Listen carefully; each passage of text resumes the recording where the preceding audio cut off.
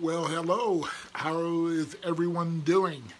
You know, um, we've got an interesting, and to me anyway, it's an interesting uh, subject today, and it revolves around motivation. And what I've been seeing over the last oh, few days at least is that a number of people have been putting out posts. They've been putting out different um, ideas about they have lost their motivation right now.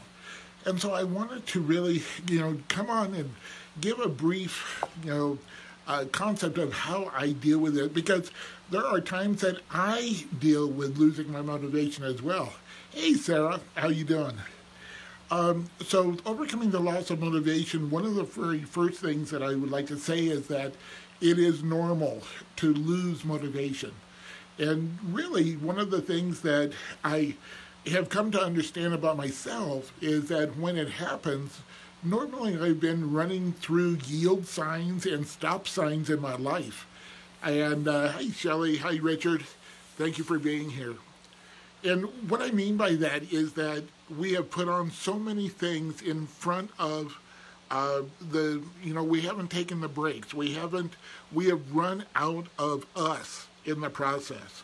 And so when we look at the word motivation, and to me it's about movement. And hey, Raul, thanks for being here. Um, so the first thing I would like to recommend is when we have this feeling like we're walking or running in molasses, that it, the, the more energy that we put in, the less results that we're getting, and the less fun, where we start really questioning whether or not what we are doing is worthwhile. Does anybody even appreciate what we do? Is it, you know, what is it that I could do that would give me more fulfillment? So the first thing that I would say is slow down, or, and this is one of the only places that I suggest this, sometimes we have to go to a dead stop. We have to separate ourselves from what is going on to be able to get any perspective at all.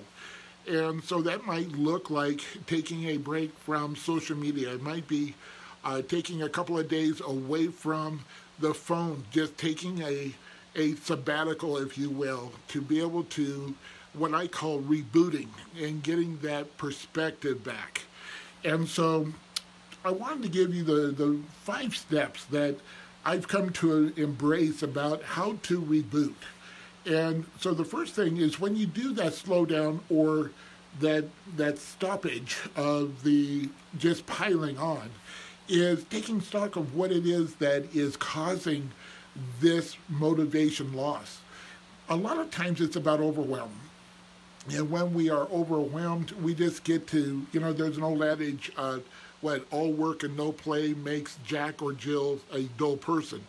And so we lose our edge, we lose our purpose, we lose that ability to see the benefit that not only that we are receiving, but that for what we're giving to those that we're serving. And so just take stock, take a piece of paper out and write down what are the things that you have on your plate right now. And this goes a little bit back to the time management because what are the things that are most valuable to you? Which are the things that are most valuable valuable to the people that you serve? And so we have a tendency to say yes a lot. And there's a time and that we all get full. There, there is a when we get to that overflow, and that's where I say sometimes we go through and we go through the stop signs, we go through the yield signs when we just are violating the true ability of our energy and our time to be able to serve and keep serving at the level that we want to. Uh, the second thing is to do something different. Take a so I just saw a post from a, a, friend of mine out in California where they said, you know, they were having a hard time with their motivation, so they went out to the golf course and it was something they hadn't done for a while. So whatever it might be that gives you that that ability to just separate yourself. For me, I love going to movies. And so if there's a great movie out, I'll take myself to a movie. And, you know, my kids are always surprised that I've actually seen a movie and took time out to do it. But I'm able to immerse myself into a story. So it, it gives me a true separation from what I'm dealing with at that period, moment in time, that period in time. But doing something different allows you to actually get some movement in a different direction, which also gives you perspective. The next thing is something that none of us really, really enjoy doing. I, you know, it's very difficult because we've been trained not to do it. Is ask for help. Is get a perspective er, perspective of what is going on. Asking even someone that you trust, and not in doing something for you, by giving you a reflection because that reflection can give us perspective and also give us insights about maybe how to get out of that funk, but also how to alleviate going back into it. Because if we haven't changed something uh, in the process, more than likely we're going to have a, a recycling of that in our business and our lives, and we'll start thinking there's something wrong with us. When in reality, we just might be off kilter in a place that we're not able to see. So asking for help. Now, if there's something asking for help truly in doing some of the things that you're wanting to implement in your business, or there's nothing wrong with that as well. Because as we grow, we're going to have to expand within our teams to be able to get everything done. In fact, on Monday of this year, of this week, my virtual assistant, who has been with me for nine years, has decided to retire the, the virtual assisting part of it, and it was like, oh golly, now I get to expand my team because what she was doing, I'm actually bringing on two different people to do. And so it's changed and it can feel overwhelming and all of the, the things that go along with something new. But by chunking it down and trusting a system and asking for help, I'm able to put that into perspective and still be on target for those that I'm serving. Um, when we get to a point where we're re-engaging, and this is really important, when we get to that point where we're just saying, okay, I'm back in the game, this is when we have a tendency to put it out at 100 miles an hour. What I'm going to suggest is chunk back into the process. So taking the things that are, again, the most valuable, put those into your, your process, getting started. You know, it, it's that uh, walk before you run but also, when you're chunking, you're able to get some accomplishments. You're able to get some of the successes in the process so that the fulfillment starts coming back and the motivation then is stimulated. It's almost like the starter fluid for motivation is success. And having those little uh, uh, elements that we can show ourselves this is something I did, this is something I've accomplished, this is someone I helped.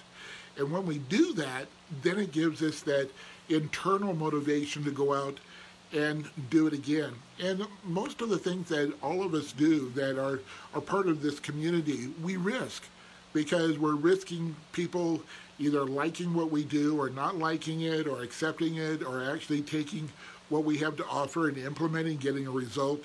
And so we're putting ourselves out there on a risk basis every single day.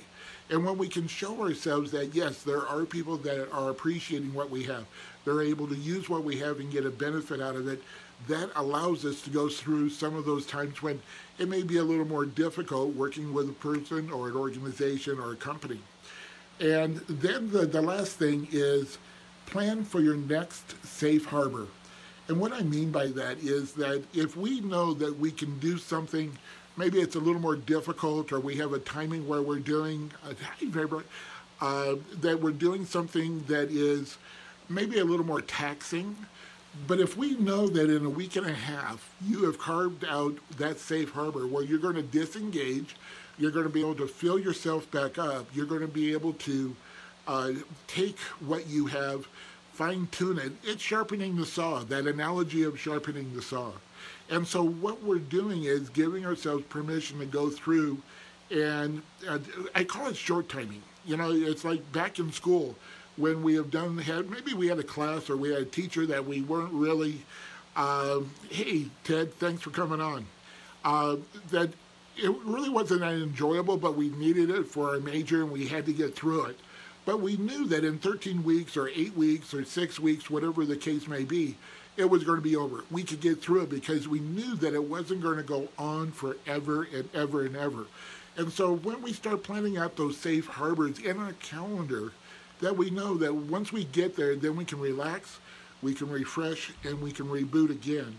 But if we don't have that, the tendency again is to repeat what we have done in the past, where we run through those yield signs and those stop signs.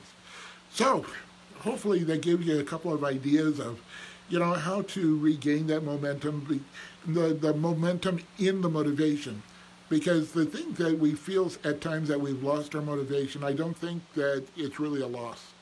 I think we've misplaced it. I think we've disengaged with the motivation so that we're no longer feeling it and we feel like it went away.